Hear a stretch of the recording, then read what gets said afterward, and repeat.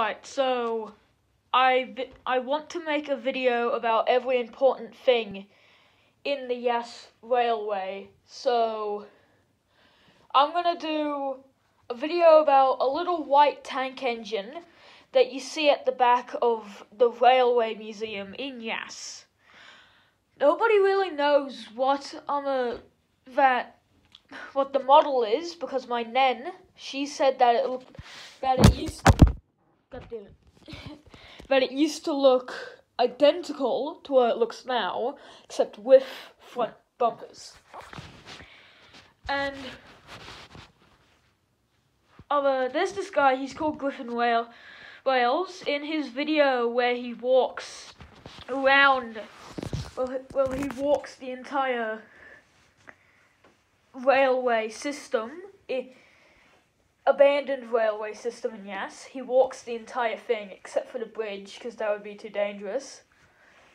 And he says what he says what other model it could be. So I'll bring it up real quick.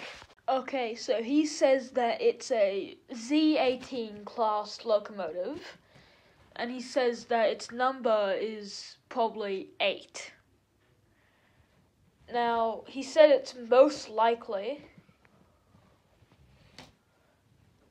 Yeah, he said most likely, and I don't think it is. It probably isn't, because what my nen said.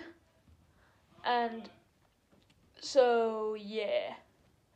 Because when you look at a photo of both of them, you see a lot of different things.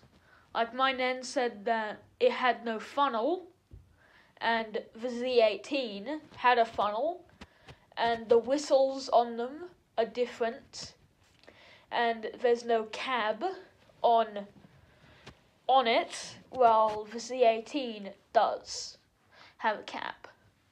And yeah, it just it just looks a lot different to what he thinks it is.